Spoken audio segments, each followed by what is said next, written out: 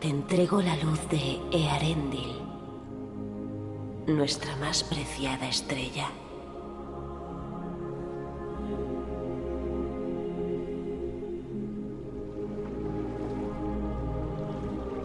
Que ella te ilumine en los lugares oscuros cuando las demás luces se apaguen.